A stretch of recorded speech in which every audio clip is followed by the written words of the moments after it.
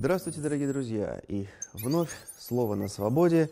Снова буду рассказывать вам о том, что происходит в мире медиа, в огромном мире вокруг нас, ну и, конечно, в Соединенных Штатах Америки, стране, которая является законодателем, правда, очень своеобразной моды, связанной э, с средствами массовой информации и с международной политикой. Но, э, на мой взгляд, конечно, одна из главных новостей последней недели – это то, что в президентскую гонку в США таки включился Майкл Блумберг. Трехкратный мэр Нью-Йорка и мультимиллиардер. Там все время меняются цифровые параметры, но будем говорить, что он входит там в десятку самых богатых людей мира. Именно поэтому он обозначил два таких базовых финансовых не приоритета, а два таких базовых фундаментальных камня в своей программе. Первое, в случае избрания президентом, получать зарплату он не будет. Ну, в принципе, и Трамп тоже от зарплаты отказался. Но Блумберг, кстати, когда был мэром Нью-Йорка, ее не получал. И второе, очень важный момент, он отказывается от любых пожертвований для своей президентской кампании. То есть будет ее полностью вести на свои. Ну, может себе позволить, потому что его состояние более 50 миллиардов долларов. Поэтому э, страшно представить, сколько денег он ухнет э, в эту самую президентскую кампанию. Кстати, его первый ролик уже распространяется, сделан очень неплохо. Ну и, так сказать, базовые слоганы. Jobs Creator, Leader – и problem solver, то есть человек, который решает проблемы, создает рабочие места и просто лидер. И все это Майкл Блумберг, все, конечно, здорово, кроме того, что в феврале следующего года ему исполняется 78 лет. Выборы в ноябре 20-го, и я опять э, э, сажусь верхом на своего любимого не политкорректного коня, связанного с тем, что очень пожилые белые мужчины в Соединенных Штатах в мультинациональной, мультикультурной стране борются за власть, да, потому что самый молодой из них это Трамп, все-таки в следующем году к моменту выборов ему 74,5. Берни Сандерсу будет 79, Байдену 78, Блумбергу 78,5. Ну, то есть это какая-то вот такая очень э, дискуссионная история.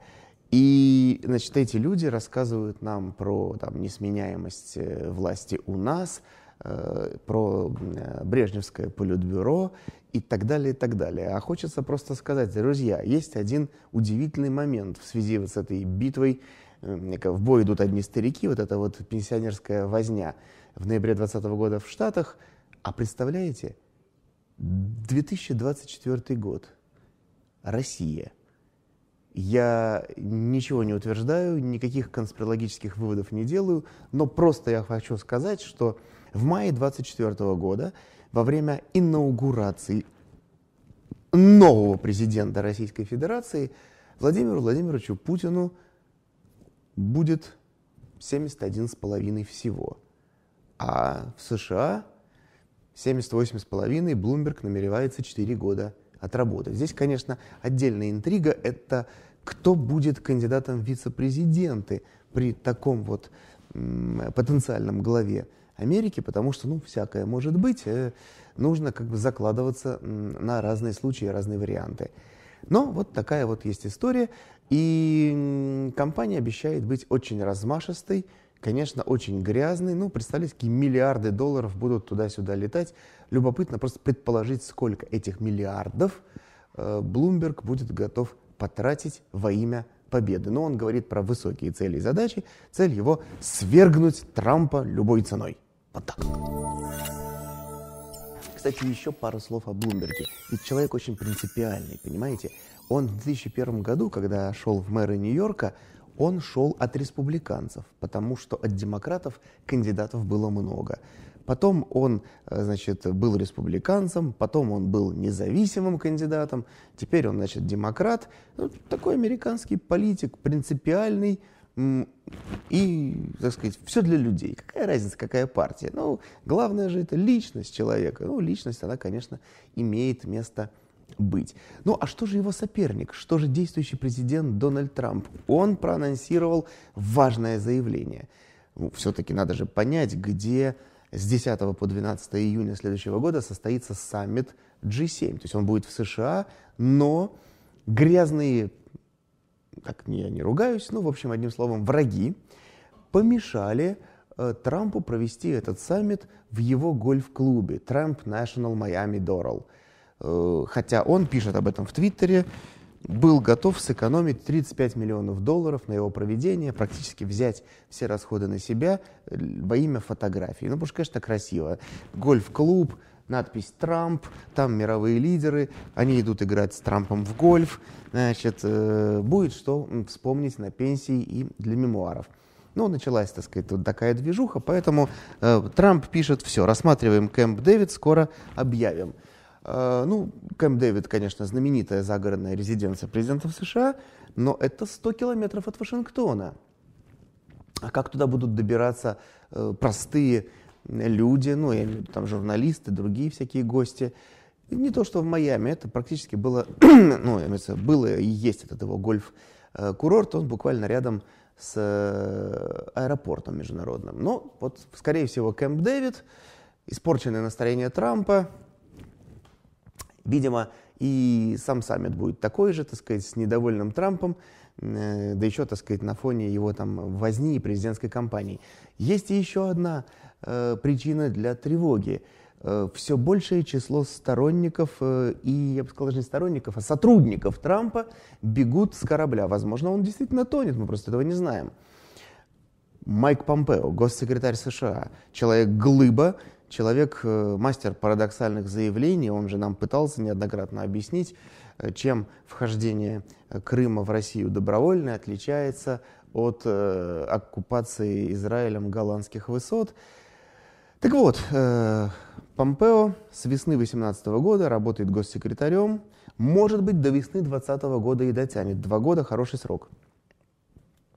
До этого, с января 2017 Э, как только Трамп заступил значит, э, в права президента, он Помпео назначил директором ЦРУ. Там тут немножко поразбирался. Но вообще с 11 до 17 Помпео был конгрессменом, да, то есть членом Палаты представителей Конгресса США от, тех, э, от Канзаса. От Канзаса.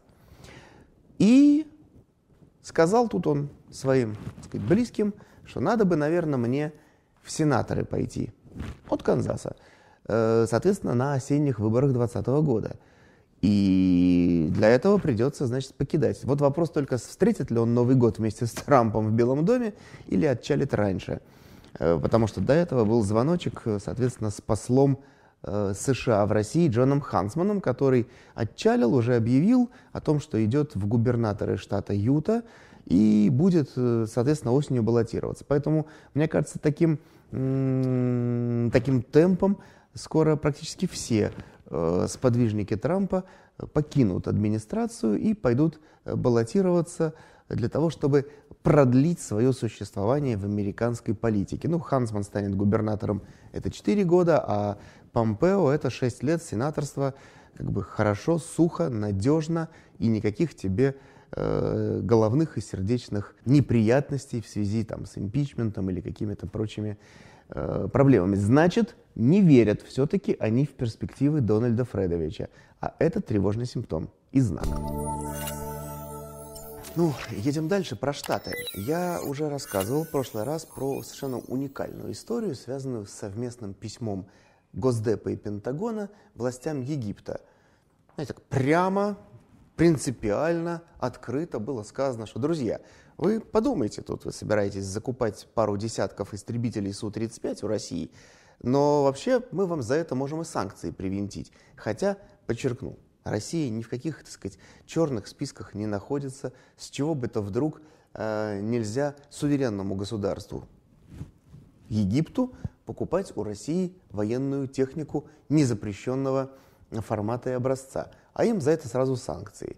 Но дальше-то все совсем весело – весело, печально, ну и показывает о реалии э, вообще международной политики. Э, значит, высокопоставленный представитель Госдепартамента взял и слил американским журналистам потрясающую формулировку. Я должен просто вместе с вами насладиться ей. Значит, конечно же, есть другие страны, сказал он, которые тоже обращались к Каиру и говорили, вот в связи со всей этой сделкой готовящейся, говорили, пожалуйста, не перечеркивайте весь достигнутый вами за последние годы прогресс. Потому что не только США обеспокоены э, грядущей покупкой Египтом наших самолетов. И вот тут я хочу вместе с вами, уважаемые зрители, задаться вопросом, какой достигнутый прогресс и в чем за последние годы у Египта может быть обнулен вот этой самой сделкой. То есть, знаете, какой циничный, высокий дипломатический язык процветает э, в США. То есть, э, какой слог. Вы у России не покупайте оружие, иначе перечеркнете весь прогресс, который вы достигли в наших глазах. И тогда, увидев, что прогресса больше нет, мы введем против вас санкции. И это все происходит в наши дни. Вот, так сказать, такие наши реалии э, в США. Но есть, конечно, и более веселые моменты, связанные с тем, что из э, праймерис демократов потихонечку выбывают разные кандидаты. И один из них это Эрик Суолуэлл, который ну, в связи с нулевым рейтингом гонку оставил, но э, продолжал активно выступать и, в частности, прославился тем, что давал интервью кабельному, но очень популярному каналу MSNBC. Выступал он в программе под названием «Hardball», ну, можно перевести ее как «бескомпромиссный». И он очень бескомпромиссно там Э, комментировал международное положение, в частности, вмешательство Киева в дела Соединенных Штатов. И во время этого короткого, яркого спича раздались очень странные, громкие и отчетливые звуки, которые были квалифицированы всеми зрителями как то, что конгрессмен не сдержался, не сдержал в себе, так сказать, э, многое, и выпустил все это наружу. В связи с этим э, появились э, соответствующие весьма язвительные хэштеги под названием «Фартгейт». Э, все это вышло в тренды, и конгрессмен стал звездой. Звездой Ютьюба, звездой социальных сетей, как человек, который не держит в себе ничего, когда выступает перед журналистами. Ну, правда, он спустя несколько дней, когда увидел, что там миллионы просмотров у этого видео, десятки тысяч э, значит, записей с этим хэштегом, стал говорить, что это не он, э, ничего, это, все, все это неправда. Привлек телеканал, который сказал, нет, это не конгрессмен, это во время его выступления мы зачем-то сзади сильно двигали кружку по столу, туда-сюда, так, тр-тр, тр-тр. Вот. Но ему, во-первых, никто не поверил.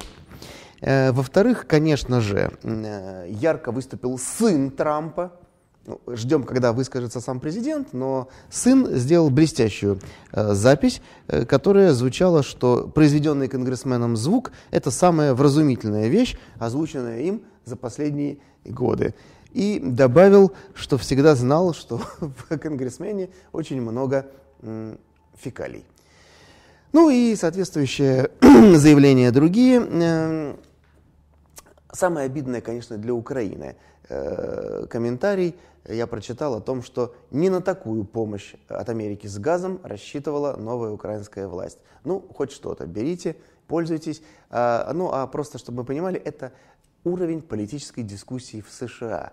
Никто не обсуждает реальные проблемы. А вот то, так сказать, что случилось, э, какой-то там физиологический конфуз у конгрессмена в прямом эфире, это достойная тема для того, чтобы проводить ток-шоу, журналистские расследования и другие делать яркие заявления. Ну, такова американская журналистика. Собственно, на том и стоит. Э, это, собственно, мы и исследуем. Кстати, э, еще об американской политике, а потом и про американскую журналистику расскажу. Трамп снова высказался ярко и принципиально. Он рассказал, почему, собственно, пришлось уволить посла США на Украине Марии Яванович. Ну, там, понятно, идет долгая сейчас тяжба, она там против него свидетельствует в рамках импичмента, вот этого, этого процесса импичмента. А, и, конечно, предъявляет ему, как, мол, он мог выгнать меня, такого дипломата, дипломатку, специалиста, специалистку. И тут Трамп объяснил, все четко и понятно. Он говорит, это посол не вешала мою фотографию в посольстве. Полтора года не могла повесить. А ведь она принимает решение. Вы представляете? Полтора или два года у нее ушло на то, чтобы повесить мою фотографию. Поэтому у меня было право посла поменять. На самом деле он прав. Ну, действительно, президент может же назначать послов, снимать. Что это за бред какой-то? Сейчас мы видим опять вот эта вот битва Трампа с элитой. То есть ему говорят, ты как мог выгнать такого посла? Он говорит, ну, хотел и выгнал, я президент США. Ну, правда, дальше он уже себя остановить не может. Это был человек Обамы. Она не хотела вешать мою фотографию. Но, тем не менее, такие высокие отношения. То есть посол, назначенный Обамой, ему там, ему, ей, да, звонят, говорят, у нас президент поменялся, Трамп. Она говорит, а я фотографию его не повешу, повешу только в туалете, и все. Э, ну, это американская дипломатия, американский политика, президент. Он там звонит, говорит, Мари, прошел уже год, фотография висит моя или нет? Еще нет. Почему? Не хочу. Немедленно, ну и так далее. То есть, э, на том и стояли. А потом еще удивляются, почему э, так сказать, дипломатические провалы э, происходят в целом ряде стран у США. Ну а как могут работать послы, которые начинают день, не сверяя э, свои жизненные поступки с портретом главы государства? Но это еще что, кстати, по поводу портретов. Э, Нью-Йорк Таймс берет новые высоты. Новые высоты только не наверху, а внизу. Что я имею в виду? С парохода современности сбрасывают Поля Гогена. Решительно и бесповоротно знаменитый художник в Полинезии спал с малолетними. Ну и, кстати говоря, до этого в прошлом году уже списали из великих художников Дега, потому что там у него был абьюз и мизогиния. Значит, что можно сказать по поводу Гогена? Американские журналисты заклеймили художника. Ну, мы многие слышали, да, что он жил тогда, значит, во французской Полинезии, там, жил на Таити. Ну, действительно, жил с местными жительницами, воспитывал с ними детей, писал работы. Теперь э, наслаждаться Гогеном, признавать его талант, по мнению Нью-Йорк Таймс, это полный харам, очень даже нехорошо. Более того, с подачи журналистов, с подачи возмущенной и взволнованной общественности в ряде музеев, где выставляются его картины, пишут специальные пояснения. Например, на последней выставке в Оттаве, хоть это и Канада, но какая разница, название и описание ряда его работ были изменены, чтобы избежать нечувствительности языка. Понимаете, какая штука?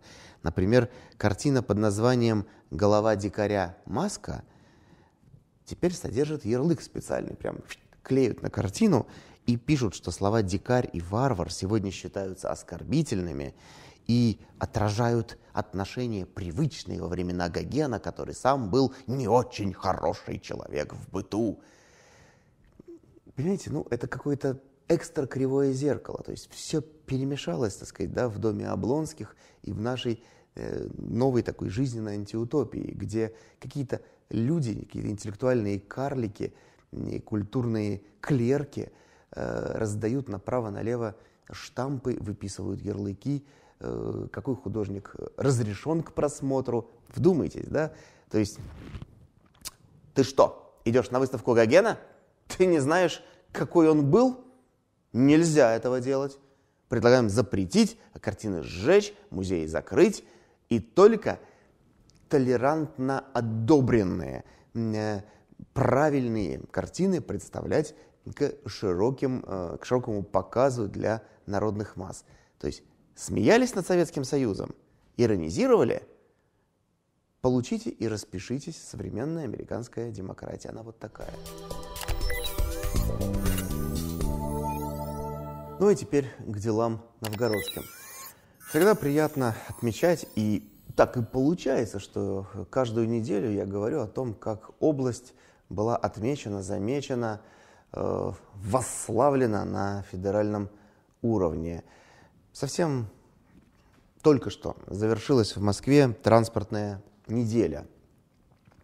Проходил мимо, заглядывал, смотрел, э, очень серьезный большой кусок вопросов там обсуждался в связи с проектом «Безопасные и качественные дороги», ну, это вообще отдельная такая прорывная тема, о которой я еще буду говорить. Но в данном конкретном случае Министерство транспорта Российской Федерации отметило работу именно Новгородской области, ее администрации по реализации этого проекта. И не просто отметило, а, в общем-то, специальный диплом с подписью министра Евгения Дитриха получил губернатор региона Андрей Никитин – который как раз там выступая поделился опытом, как за общем, последние годы удалось э, наладить работу в этой сфере и сотни километров дорог отремонтировать.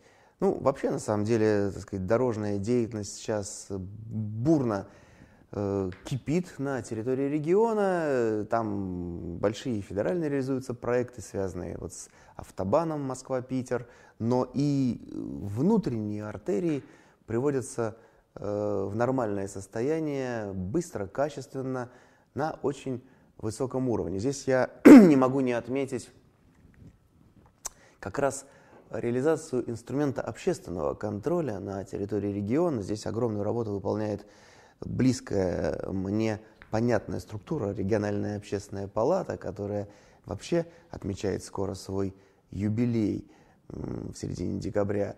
И как раз во многом Общественная палата Новгородской области может следить, служить образцом того, как вот эти инструменты, связанные с участием общественников в наведении порядка, могут работать. Достаточно посмотреть просто социальные сети, не то что каждую неделю, там едва ли не каждый день или через день э, группы такого общественного реагирования выдвигаются, смотрят, как проходит ремонт там, что делают здесь, как нам значит, приводят в порядок ту или иную дорогу. Вот это здорово, это круто. И вот подобный опыт нужно распространять, чтобы другие регионы нашей страны э, приезжали в Новгород и брали на вооружение эти инструменты. Э, ну, я думаю, что новгородцы э, люди такие открытые, которые всегда готовы поделиться, рассказать э, о том, что хорошего происходит. А люди, люди в регионе отличные – и еще одна новость, которая меня порадовала, как раз с этим связана. В конце октября э, пострадала от урагана церковь Феодора Стратилата в деревне Верехново. Местным жителям с этой бедой не справиться. Нет ни навыков, ни техники, да и средств нету. Но вот смотрите, как интересно, стоило только вот газете районной, да, Волотовской газете об этом сообщить, и цепочка, там, сарафанное радио, социальные сети, нашелся предприниматель из Великого Новгорода, который решил помочь, помог, дал материал на кровлю бесплатно, имя свое называть не хочет. То есть ну, нормальный человек, э, которому не нужна вот эта реклама, пиар, просто есть беда, человек приходит на помощь, и все. Э, дальше, конечно, значит, э, нужно заниматься внутренним ремонтом, но сделан первый шаг, и хочется, так сказать, ну, э, подать сигнал, кинуть клич, то есть мир не без добрых людей, первое большое дело сделано, я думаю, что э, и прихожане, и неравнодушные верующие люди в области могли бы подключиться и всем миром храм привести в должный вид. Но главное это то, что сострадание, э, сопереживание, э, все это есть в наших людях. И